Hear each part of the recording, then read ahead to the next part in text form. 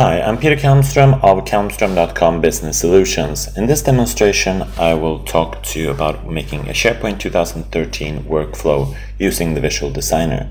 So I've already opened the IT tickets list here, and um, I'm going to create a workflow, and it's going to be the same workflow that I've shown in other demos, the send high prio email and I need to base that on the platform SharePoint 2013, not 2010, because the Visual Designer only works with the 13 version. So I'm opening that, and as you see here on the views, I can switch over to the Visual Designer, and that only works if Visio Professional 2013 is installed, and it actually is.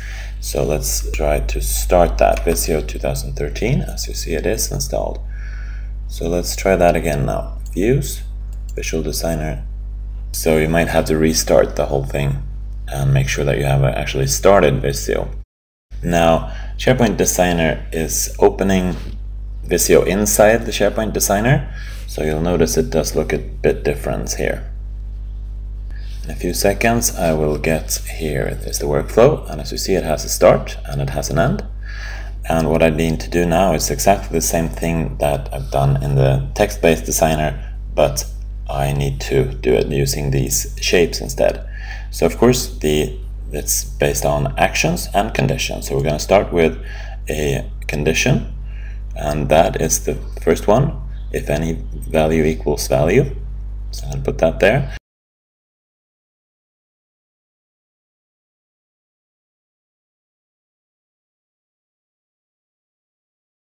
To set the text here, or the, the, the options, you go into this little gearbox here, select the value, and there you select the current item priority. There, and then equals, and there you get a little drop down high, right? And in this text here, if you double click here, if any value equals value, that's not very helpful, but here you can type in your own kind of documentation. Is high prio and that's not really, you know, doesn't affect anything, but it makes it much easier to read, is high prio. That's easy, easy to read and easy for humans to understand. In that case, I'm going to do an action and I'm going to send an email. So I'll just put that in there. Send email.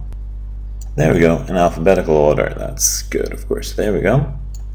Put that in there and um, send notification just to explain what's, what's happening here.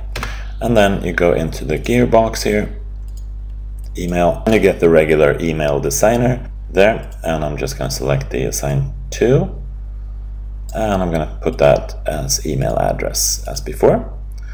There we go. And you got a new ticket.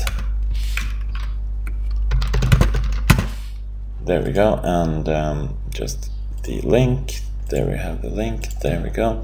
My issues we want to put the link to there. Just copy that link copy right click and copy and then in there and then I'm gonna do a link. Click here alright or paste in that. Alright we have a workflow. Now the important thing is that we need to connect these two and we need to set that that is um, yes connector. So I right click on that and select yes and then I do another connector click there and get a connector tool. Connect that over to the end of the workflow.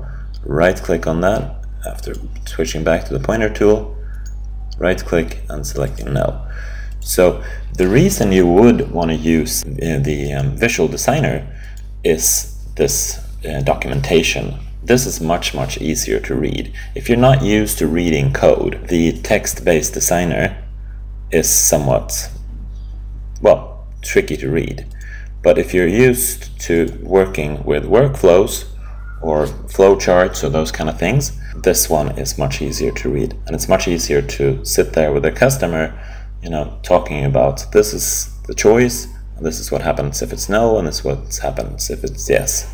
So that's the benefit of the visual designer in my opinion. I'm go back to the text-based designer and yes, you'll see that I have the whole thing there. The one thing that I do need to set though is I need to set the start options also. Then I'm done. I can just publish the workflow like that. And that should be ready to run. So that concludes my demo on how to make a workflow in the Visual Designer in SharePoint 2013 on Office 365. Thank you for watching.